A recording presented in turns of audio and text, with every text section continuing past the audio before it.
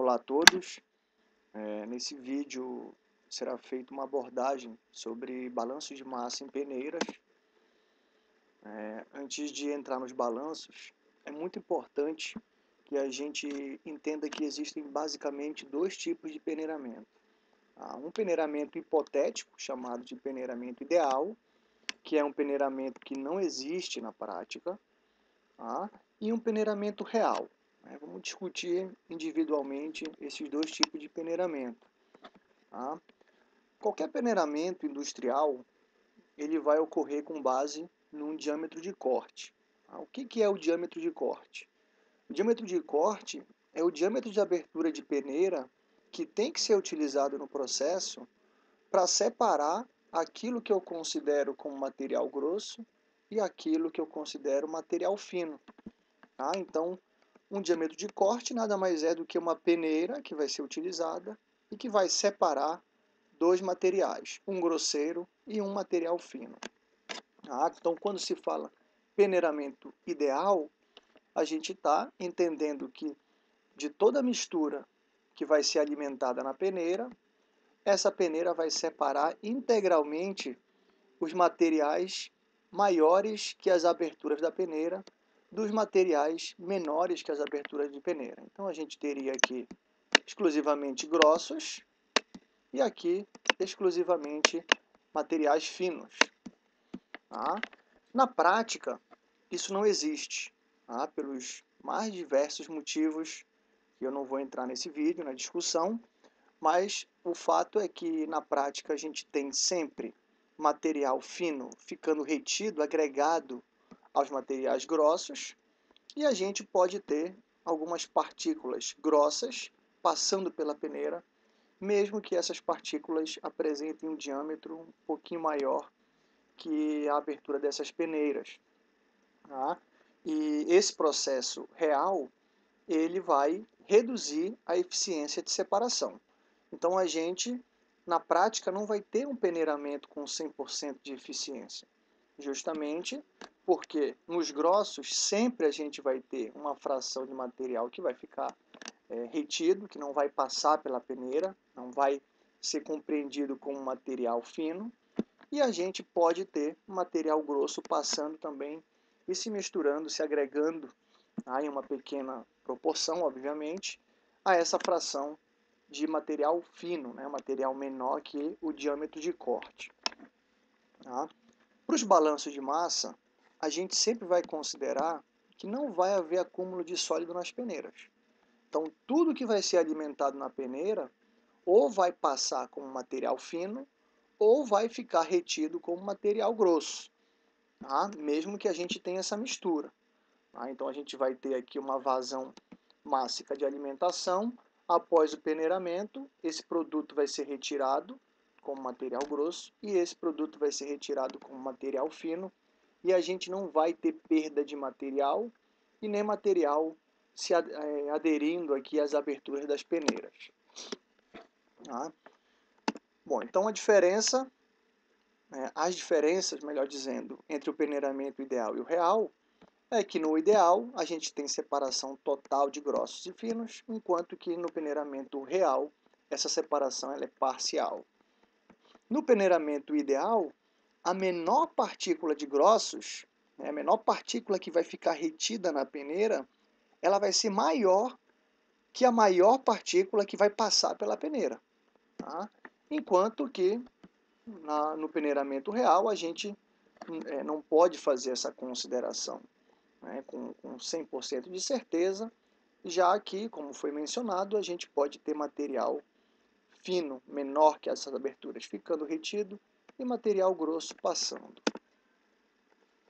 Vamos fazer uma análise aqui primeiro de um peneiramento ideal. Tá? Quando a gente faz um, um, uma, uma, relação entre a fração de material retido tá? em relação a um diâmetro de abertura de peneira, a gente vai ter esse tipo de comportamento. Tá? Então, material retido acumulado, tá? ele vai aumentando à medida que a gente diminui, tá? Lembrando que ocorre nesse sentido aqui, né? A gente tem em cima as peneiras maiores E ao final, mais embaixo, a gente vai ter as peneiras maiores. Fração retida acumulada, medida que vai descendo nas peneiras, a gente vai tendo o acúmulo das frações de material que fica retido até chegar em 100%. Se a gente considerar um diâmetro de corte, tá? que lembrando, o diâmetro de corte é o que vai dividir o que, que é grosso do que, que é fino, o que, que me interessa do que, que não me interessa. A gente vai ter à direita do diâmetro de corte as frações correspondentes a grossos, enquanto que à esquerda a gente vai ter a fração correspondente a finos. Se a gente né, faz uma plota um gráfico independente aqui, ó, de fração de finos com fração de grossos, a gente vai ter esse comportamento de gráfico aqui.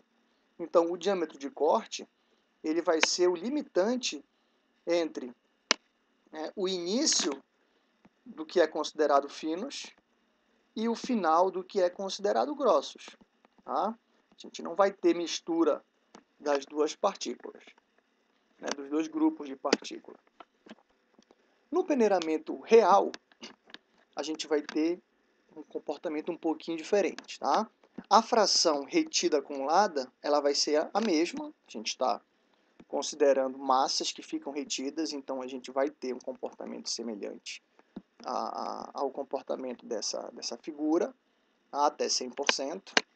Só que agora, o diâmetro de corte ele não vai separar 100%, né, com 100% de eficiência, material grosso de material fino. Né? A gente vai ter a passagem de finos, ou melhor, a retenção de finos na corrente de grosso, na corrente G, e a gente vai ter né, algum, alguns materiais grossos passando também pela peneira e saindo na corrente F. Ah, então, quando a gente vai plotar individualmente finos e grossos, a fração de finos e a fração de grossos, o que, que a gente observa? Que o início do que é considerado fino vai invadir aqui ó, uma região onde a gente vai ter grossos. Né? Se a gente pegar aqui, ó, fizer uma marcação nessa região, a gente vai ter um diâmetro crítico, que na prática vai existir um delta D aqui, vai existir esse, essa variação de diâmetro de abertura de peneira, né, ou de partícula, se a gente quiser considerar diâmetro médio de partícula, onde a gente vai ter mistura de finos e grossos. Ah, então, à direita né, desse, dessa, dessa delimitação, a gente vai ter apenas grossos, à esquerda a gente vai ter apenas finos. Tá? Na prática, quando a gente faz um balanço de massa né, industrial, né, para ser aplicado na indústria, para ser utilizado para efeito de cálculo, a gente precisa fazer uma análise granulométrica na alimentação, né, no produto que vai alimentar a peneira. A gente precisa fazer uma análise granulométrica dos grossos, né, do material que vai ficar retido na peneira, e a gente precisa fazer também uma análise para o que passa pela peneira, porque só assim a gente vai ter o comportamento desses materiais. E só assim a gente vai conseguir avaliar, né, fazer uma estimativa de quanto de grossos que acabou passando, que deveria ficar retido e passou, e quanto de finos que deveria passar, mas que não passou e ficou retido. Tá? Então, fazendo essa análise, a gente vai ter esse tipo de comportamento aqui. Ó. A gente vai plotar fração retida em função do diâmetro, a gente vai ter aqui, né, esse gráfico aqui está se repetindo, aqui é para a amostra completa, né, para alimentação, que seria esse gráfico. A gente vai ter esse comportamento de grossos e a gente vai ter esse comportamento de finos. Tá? O diâmetro de corte, ele vai me indicar qual é a fração de grossos que eu encontro na corrente de finos, qual é a fração de grossos que eu encontro na alimentação e qual é a fração de grossos que eu encontro efetivamente nos grossos. Tá? Deixando claro aqui que a gente está tratando do balanço, né, para realizar o balanço, considerando fração acumulada de grossos. Então a gente está tá considerando que o X representa a fração de material grosso, tá? Não confundir aqui XF com fração de finos, não é fração de finos, é fração de material grossos, materiais grandes, presentes na corrente F. Tá? Para realizar o balanço, a gente vai fazer né, algumas considerações. Né? É, não há acúmulo, então a gente não vai ter perda de material, que é alimentado na peneira vai ser igual à soma do que é retirado como produto grosso e como produto fino. Equação 6. Tá? Essa equação numerada de acordo com a aula. Se for considerado um peneiramento ideal, tá? lembrando que na prática isso não existe, mas dependendo do que a gente tem de, de dados disponíveis, se a gente tem só a, a, a, distribuição granulométrica da alimentação, a gente vai ter que trabalhar com cálculos com a consideração de que o peneiramento está sendo ideal, já que a gente não vai ter conhecimento aprofundado sobre os grossos e sobre os finos. Ah, então, nesse caso, a gente vai considerar que tudo que fica retido na peneira são grossos e tudo que passa pela peneira são finos, né? independente se haja um pouco de mistura. Pode-se ter conhecimento apenas da distribuição granulométrica da corrente. Tá? Esse seria o caso para um peneiramento ideal, para ser considerado um peneiramento ideal. Quando a gente só conhece a distribuição da corrente A, a gente só pode estimar a fração de grossos em A. A gente não pode estimar xg e nem xf. E a gente pode ter o conhecimento completo de todas as distribuições, né? que seria o caso da gente obter xa, xg e xf, e com isso a gente conseguir realizar o balanço completo. Ah, vamos fazer análise aqui primeiro do balanço de massa, que eu vou chamar do tipo 1, que seria considerando o peneiramento ideal, e a distribuição granulométrica da corrente A sendo conhecida. Tá? A vazão que vai sair com o material retido, ela vai ser considerada exclusivamente de grossos. Então, aqui na alimentação A, a gente vai ter uma mistura de materiais grossos com materiais finos. O que fica retido aqui vai ser obtido pela fração retida acumulada. Então, eu vou fazer uma análise granulométrica onde eu vou ter a peneira aí, que é a nossa peneira de diâmetro de corte, e na minha análise granulométrica, necessariamente essa peneira vai ter que estar presente. Tá? E a fração retida acumulada nessa peneira da análise vai me indicar qual é a fração retida acumulada na peneira, e que vai ser a fração que eu vou considerar para calcular a vazão mássica de G. Multiplicando essa fração pelo total que é alimentado, a gente encontra a vazão mássica, que vai ser é, retirada aqui como produto grosseiro. Tá? A vazão de finos a gente considera né, diferente do, do que é considerado para os grossos, né, a fração que passa pela peneira. Né, é o inverso, 1 menos a fração retida acumulada me fornece a fração passante Aí a gente vai ter essa fração sendo considerada multiplicado pela alimentação para obter a vazão de finos, ou simplesmente, se eu obtenho a vazão mássica de G, diminuo da alimentação e obtemos, por balanço simples de massa, a vazão de alimentação, ou melhor, a vazão de finos que, que passam pela peneira. Balanços de massa do tipo 2 são os balanços mais importantes, tá? ocorrem quando a gente tem peneiramento real. Esses são os únicos balanços onde é possível calcular a eficiência de peneiramento. Então, além de ser um peneiramento real, a gente vai ter conhecimento da distribuição granulométrica das três correntes. Então, a gente vai ter uma distribuição para A, uma distribuição para G e uma distribuição para F, tá? baseado sempre num diâmetro de corte, que a gente, nesse caso, é a nossa peneira genérica aqui, peneira I. A vazão que sai pela peneira de grossos, que vai ficar retida e vai sair como um produto grosso aqui, ela vai ser a soma das vazões de grossos retidas na peneira com a de fino que não vai passar pela peneira. Tá? É o caso típico de peneiramento real.